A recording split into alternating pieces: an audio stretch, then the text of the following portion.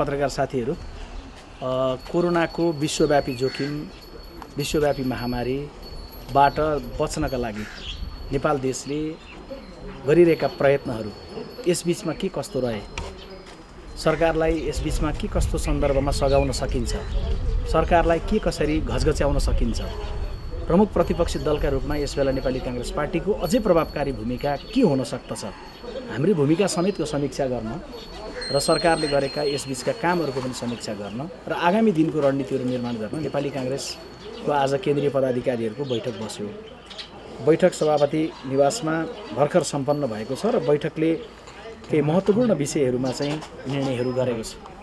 नेपाली कङ्ग्रेस केन्द्रीय समितिको अहिले बैठक बसिराख्न सम्भव नभएको तर पदाधिकारी बैठकले बेला बेला यस्ता सन्दर्भमा महत्त्वपूर्ण निर्णय लिनुपर्ने भएको हुँदाखेरि बैठकले अहिलेसम्मको सरकारको समीक्षा जे कार्य भएको छ पर्याप्त समय पाएर पनि पर्याप्त ढङ्गको तयारी नभएको विषयलाई दुःखद रूपमा लिँदै बैठकले सङ्क्रमण चाहिँ दोस्रो चरणमा प्रवेश गरेको स्थितिमा नेपाली काङ्ग्रेस पार्टीको तर्फबाट सरकारलाई सम्पूर्ण रूपले घचघच्याउने सरकारले परीक्षणको दायरा व्यापक रूपमा परीक्षणको दायरा बढाएर जानुपर्ने बैठकले आवश्यकता महसुस गरेको छ। सरकारलाई त्यसको लागि अपिल गरेको छ। पिपिई परीक्षण किट भेन्टिलेटर जस्ता अत्यावश्यक सामग्रीहरूको अपर्याप्तता जे छ त्यसलाई चाँडोभन्दा चाँडो सरकारले जुन प्रक्रियाले हुन्छ व्यवस्थापन गर्नलाई आजको बैठकले अपिल गरेको छ। सरकारको कमी कमजोरीहरूको सन्दर्भमा आउने हुने। तर अहिलेको बेलामा सरकारमा सँगै नरहेर पनि सरकारलाई सङ्कटमा साथ दिन सकिन्छ सँगै नरहेर पनि सङ्कटमा सँगै लड्न सकिन्छ भन्ने भावनाका साथ नेपाली काङ्ग्रेस पार्टीले सरकारलाई हर सम्भवले सघाउने भन्ने निर्णय पनि आजको बैठकले गरेको छ। त्यस्तै बैठकले दोस्रो नम्बरमा आजको सङ्कटसँग पार तर्ने भनेको स्वास्थ्य कर्मीहरूको नेतृत्वमा हो। स्वास्थ्य कर्मीहरूलाई आवश्यक पर्ने समग्र सामग्री उपलब्ध गराउने एकातर्फ कर्तव्य राज्यको छ। अर्कातर्फ स्वास्थ्य कर्मीहरू भत्ताले भन्दा पनि मानवीय भावनाले मानवीय भावनाले प्रेरित रहेर कार्य गर्नुहुन्छ।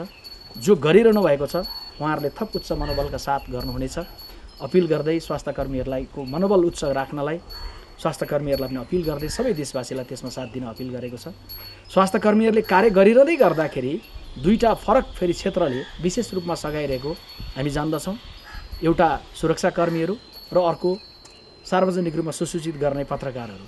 त्यसैले नेपाली काङ्ग्रेस पार्टीको आजको बैठकले देशभरि अहोरात्र सुरक्षा दिएर कार्य गरिरहनुभएका सुरक्षाकर्मीहरूको उच्च मनोबलका लागि र सुरक्षाकर्मीहरूलाई प्रोत्साहित गर्नका लागि पनि अपिल गरेको छ। त्यस्तै पत्रकारहरूले प्रतिकूलताको बिचमा पनि समाचार सम्प्रेषण गरेर हामीलाई सुसूचित गराइरहनु भएको छ। त्यसैले तेस्रो रूपमा पत्रकारहरूलाई पनि उच्च मनोबलका साथ कार्य गर्नका लागि सबैलाई साथ दिनलाई अपिल गरेको छ।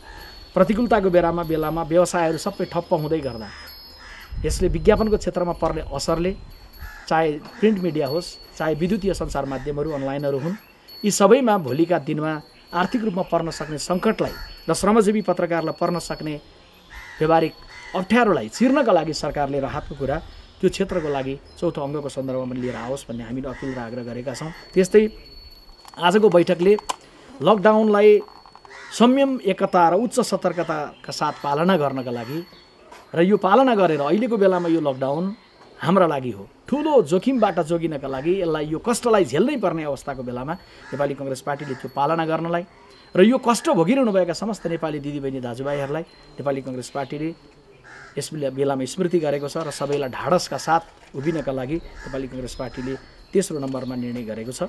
चौथो यसबिचमा स्वास्थ्य सामग्रीहरूको अभाव त रह्यो नै।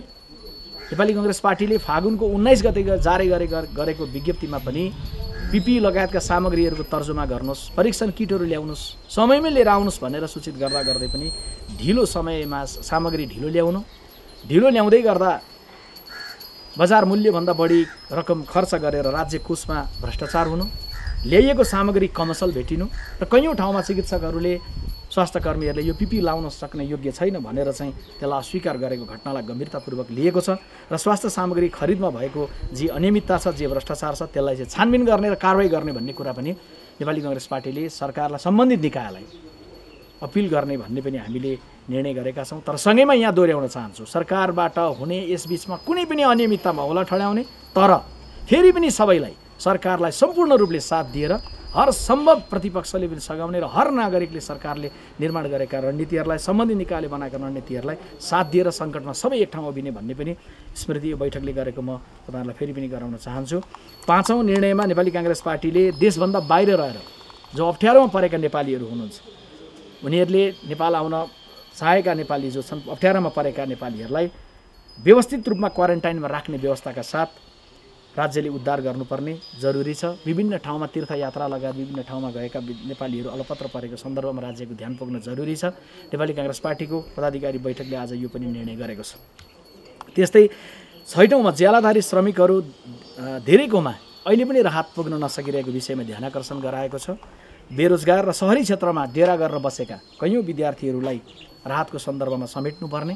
त्यस्तै बिस लाखसम्ममा रकम लिएर ऋण लिएर ब्याङ्क र वित्तीय संस्थाहरूबाट लिएर व्यवसाय गरिरहेकाहरूले ब्याज तिर्न सक्नेसम्म अवस्था छैन। सरकारले तिन महिनाको ब्याज मिनाने गर्नुपर्ने र त्यसपछिको ब्याजलाई न्यून गर्नुपर्ने। अन्य पनि व्यवसायीहरूको हकमा बिस लाखभन्दा माथि लिएका रकम लिएका ऋण लिएका व्यवसायीहरूको हकमा पनि ब्याज मिना नगरे पनि कम्तीमा ब्याजलाई न्यून गर्ने कर्तव्य राज्यले राख्नुपर्छ। पर्यटन क्षेत्रमा विभिन्न प्रतिष्ठानहरूमा कार्य गर्ने श्रमिकहरूको सन्दर्भमा कसैलाई पनि बेरोजगार बन्ने न अवस्था आउन नदिने गरी राज्यले त्यसमा राहतको योजना बनाउनु पर्ने विषयमा पनि आज बैठकले निर्णय गरेको छ। त्यस्तै तपाईँ हामी जान्दछौँ कि नेपालभित्र मात्रै होइन नेपालभन्दा बाहिर पनि एउटा नेपाल छ। चालिस लाखभन्दा बढीको सङ्ख्यामा फैलिएको। आज संसारका कैयौँ देशहरूमा कोरोनाको सङ्क्रमण हुँदै गर्दा विदेशमा रहेका सबै नेपालीहरूलाई पनि आज नेपाली काङ्ग्रेसको बैठकले स्मृति गरेको छ र बैठकले विदेशमा रहेका सबै नेपालीहरूप्रति चासो चिन्ता गर्दै सुरक्षित रहेर उच्च मनोबलका साथ रहनका लागि अपिल नेपाली काङ्ग्रेस पार्टीले गरेको छ र विदेशमा रहेका सबै नेपालीहरूलाई संयम एकता र सहयोगी एक आपसमा सहयोगी समुदायमा सहयोगी भावनाका साथ कार्य गर्नलाई बैठकले स्मरण गराएको छ। त्यस्तै आजको बैठकले प्रतिकूल स्थितिमा पनि एकता र सतर्कताका साथ मानवीय सेवाको उच्च भावनाले कार्य गर्नका लागि देशभरिका पार्टीका सदस्यहरूलाई र देश बाहिर पनि रहेका जनसम्पर्क समितिहरूमा रहेका नेपाली काङ्ग्रेस पार्टीसँग आबद्ध साथीहरूको लागि अपिल गरेको छ। र आजको बैठकले नेपाली काङ्ग्रेस केन्द्रीय केन्द्रीय पदाधिकारीहरूको बैठकले पार्टीका सबै केन्द्रीय सदस्यहरूलाई सङ्घीय सांसदहरूलाई गाउँ नगर क्षेत्रमा निर्वाचित भएका या उम्मेदवार भएका साथीहरूलाई पार्टीको जिल्ला कार्य समितिको नेतृत्वदेखि लिएर टोलसम्मको नेतृत्वमा रहनुभएका साथीहरूलाई आफआफ्नो कार्यक्षेत्रमा उच्च मानवीय भावनाको साथ कार्य गर्नका लागि पनि अपिल गरेको छ। त्यस्तै कृषि क्षेत्रमा कार्य गरिरहनु भएको खास गरी खाद्यान्न खाद्यान्न उत्पादनको कुरा खाद्यान्न वितरणको ढुवानीको कुराको सन्दर्भमा कार्य गरिरहनु भएको कृषि यदि हामी कोरोनाको जोखिमबाट त जोग्यौँ तर खाद्यान्न उत्पादन र खाद्यान्न वितरण र खाद्यान्नको पर्याप्तताको सन्दर्भमा हामी चुक्यौँ भने त्यसले अर्को जोखिम देशले बिहोर्नु पर्ने हुन्छ। त्यसैले खास गरी कृषि क्षेत्रमा कार्य गरिरहेकाहरूलाई ढाडस दिने र सतर्कताका साथ कार्य गर्ने गराउने कुराको सन्दर्भमा पनि बैठकले अपिल गरेको छ। र अन्त्यमा बैठक आज पार्टीको पदाधिकारीको बैठकले एउटा विज्ञ समूह निर्माण गर्ने यो सन्दर्भमा विषयगत रूपले विज्ञहरूको एउटा समूह निर्माण गर्ने र पार्टीले अहिलेसम्म जुन रूपमा चाहिँ सचेतनाको सन्दर्भमा कार्य गरिरहेको छ सरकारलाई सुझाव दिने दबाब दिने सरकारलाई सघाउने सन्दर्भमा जे कार्य गरिरहेको छ यो सन्दर्भमा अब विज्ञ समूह निर्माण गरेर विज्ञ समूहहरूको परामर्शमा थप यसलाई आफ्नो कार्यलाई व्यवस्थित बनाउने भन्ने पनि बैठकले निर्णय गरेको छ। आज बैठकमा नेपाली कङ्ग्रेस पार्टीका सभापति शेरबहादुर देउवाको अध्यक्षतामा बसेको बैठकमा पार्टीका उपसभापतिद्वय विमलेन्द्र निधि र विजय कुमार गच्छदार पार्टीका महामन्त्रीद्वय शशाङ्क कोइराला र पूर्णबहादुर खड्का पार्टीका सहमहामन्त्री डाक्टर प्रकाश शरण महत त्यस्तै पार्टीको संसदीय दल प्रतिनिधि सभा संसद दलका प्रमुख सचेतक बालकृष्ण खाँड राष्ट्रिय सभामा प्रतिपक्षी दलका नेता अधिवक्ता राधेश्याम अधिकारी पार्टीका मुख्य सचिव कृष्णप्रसाद पौडेल र पार्टीको प्रवक्ताका रूपमा मेरो आफ्नो सहभागिता रह्यो र यहाँलाई जानकारी गराउँ पार्टीको वरिष्ठ नेता आफ्नो घाँटीसँग सम्बन्धित समस्याको कारण उहाँ आइपुग्न पाउनु भएन तर टेलिफोन मार्फत उहाँको यो बैठकमा सहभागिता रह्यो र बैठकमा भएका सबै विषयहरूमा पार्टीको सम्पूर्ण नेतृत्व पङ्क्तिको एकरूपताका साथ अहिलेको बेलामा हामी काङ्ग्रेस जन पनि यो विषयमा एक छौँ। र सिङ्गो देशले एक भएर सामना गर्नु पर्दछ भन्ने कुराको सन्दर्भमा सरकारको पनि हामी साथमा छौँ। यही अपिल गर्दै बैठक टुङ्गिएको छ। साथीहरूका केही जिज्ञासा छन् के समूह चाहिँ निर्माण हामीले आन्तरिक रूपमा परामर्श गरेर बनाउँछौँ? र यस बिचमा तपाईँहरूलाई भन्दै गर्दा अनौपचारिक रूपमा पनि हामी विज्ञ समूहहरूसँग यस बिचमा जे गरिरहेका थियौँ त्यसलाई औपचारिक रूप आज बैठकले दिएको छ। यहाँले जान्नुभएकै छ नेपाली कङ्ग्रेस पार्टीको सूचना सञ्चार तथा प्रचार विभागले हिजो स्वपरीक्षण एप सार्वजनिक गरेको छ।